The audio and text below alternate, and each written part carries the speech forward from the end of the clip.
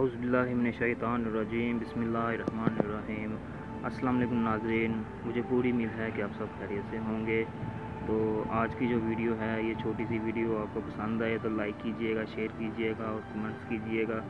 और जो नए हैं मेरे चैनल पे तो काइंडली वो सब्सक्राइब कर लें और बेल आइकन को ज़रूर दबाएँ ताकि लेटेस्ट वीडियो सबसे पहले आप तक पहुँचे। तो ये अलकोबर है, सऊदिया का शहर, ये बहुत खूबसूरत शहर है बहुत बहुत अच्छी खूबसूरत बिल्डिंगें हैं तो मैंने सोचा कि साथ शेयर करूँ, आपको दिखाऊँ।